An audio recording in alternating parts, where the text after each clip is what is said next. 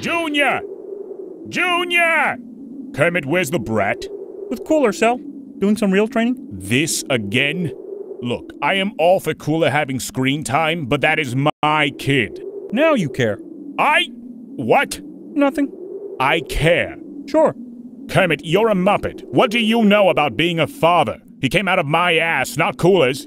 Anyone can shit a baby out their ass, Cell. What? No, they can't. But it takes a real man to be a father. Kermit. Cell, just save it. You may have given him life, but you were never his father. I'll see you tomorrow, buddy. I should be like you, Melvin.